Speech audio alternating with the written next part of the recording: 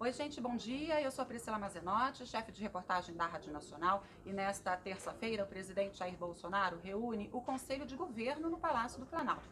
Depois, assina o decreto que trata da nova regulamentação do uso de armas e munições por caçadores, atiradores esportivos e colecionadores. Agora, pela manhã, o Ministério da Economia e o BID discutem a qualidade dos gastos no país. E no Rio de Janeiro, o Museu Nacional apresenta peças da coleção egípcia. Foram recuperadas depois do incêndio em setembro do ano passado. E aqui em Brasília, a greve do metrô que entra no sexto dia. Essas e outras informações ao longo da nossa programação na Rádio Nacional, na TV Brasil e na Agência Brasil, além, é claro, daqui no EBC na Rede. Um bom dia a todos.